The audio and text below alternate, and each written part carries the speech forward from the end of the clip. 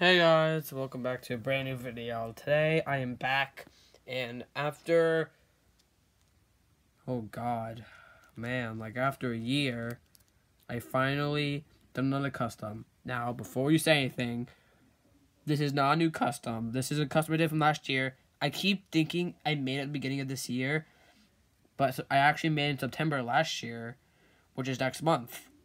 So yeah, um, I thought it'd be cool to upload this like when I first made the custom video of making this guy, but I mean that's a month away. Nah, I'm not gonna do that.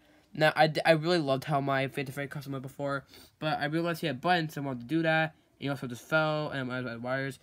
He doesn't look like the original Phantom Freddy. I also had this, but I'm happy with it. He looks more like Phantom Freddy, more accurate in my opinion. So yeah, really like him. Pretty cute. Oh, I also so yeah. Anyways, I'll just show you what the rest.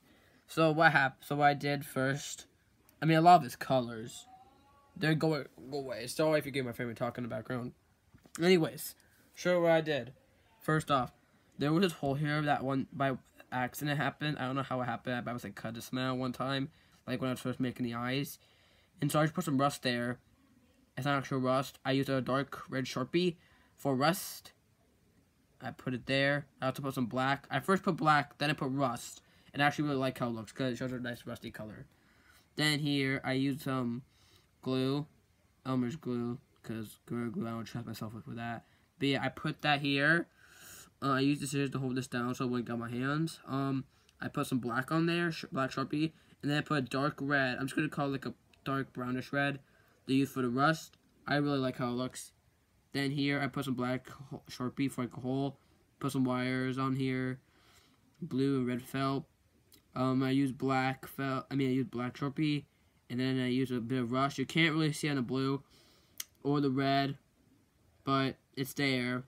Then I did some black Sharpie in the rust. I was gonna call it rust color. I did that for here. Pretty nice.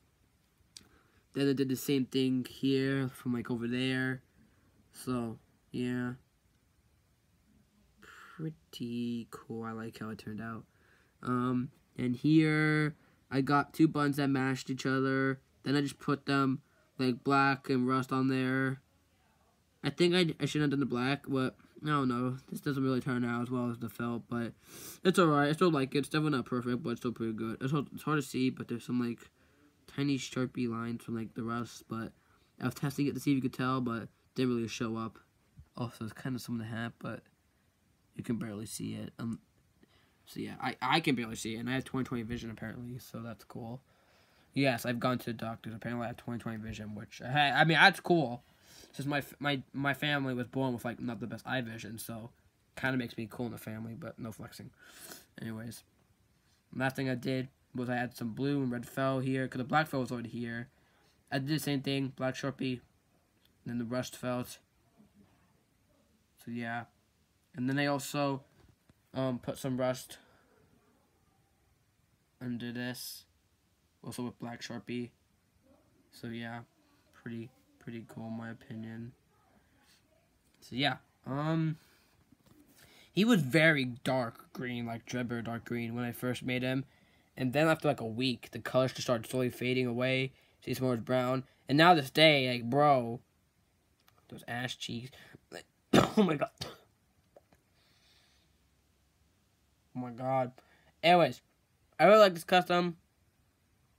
Turned out well. What the heck happened here? Whoa! Uh, okay then. That's interesting. I don't know how that happened. Um, but yeah.